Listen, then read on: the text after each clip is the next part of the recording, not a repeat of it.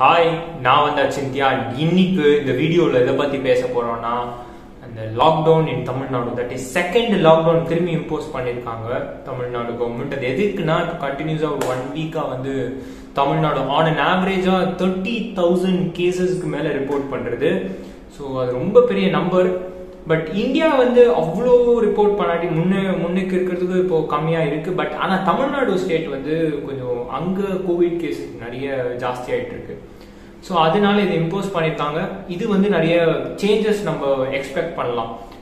Drastic changes in covid case இப்போ இருக்கிற லாக்டவுனுக்கும் வரப்போகிற லாக்டவுனுக்கும் நிறைய டிஃப்ரென்ஸ் இருக்குது அதுக்கு முன்னாடி நாளைக்கு தட் இஸ் டுவெண்ட்டி தேர்ட் என்ன ரூல் பார்த்தீங்கன்னா நாளைக்கு ஆறு மணிலேருந்து evening that is night nine PM வரைக்கும் uh, எல்லா க்ராசரி ஷாப்ஸ் அண்ட் எது தேவையான ஷாப்ஸ்லாம் வந்து திறந்துருக்கும்.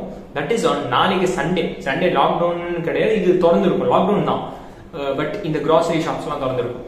அண்ட் அதோட என்னன்னா um, uh, வரப்போற ஏழு நாள் வந்து கிராசரி ஷாப்ஸ் திறந்துருக்காது. ஸோ அதனால நீங்க ஏதாவது வாங்கணும் அப்படின்னா நீங்க இப்போவே வாங்கி வச்சிருங்க நாளைக்கே.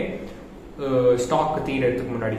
அண்ட் அதுக்கப்புறமா வந்து இந்த தள்ளுவண்டி கடை அதெல்லாம் வந்து நாளைக்கு நாளானிலேருந்து கிடையாது. பட் அதுக்கு பதிலாக இந்த கவர்மெண்ட்டே வந்து நிறைய நிறைய பேர் வச்சு லைக் ஃப்ரூட்ஸ் அதை வெஜிடபிள்ஸ்லாம் செல் பண்ணுவாங்க.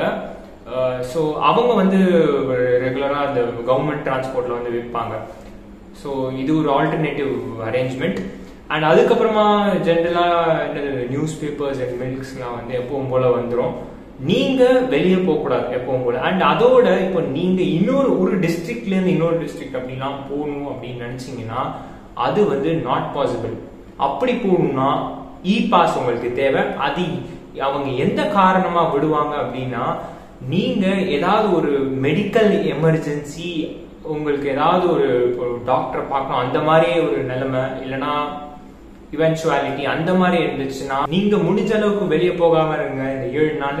இந்த லாக்டவுன் முடிஞ்ச அப்புறம் கூட தேவைன்னா போங்க. வெளியே அனாவசியமா போகாதீங்க. ஒரு கெரியரா கூட இருக்க வேணாம். முதல்ல இது இப்படி பண்ணோம்னா கண்டிப்பா கொரோனாக்கு ஒரு முற்றுப்புள்ளி வைக்கலாம்.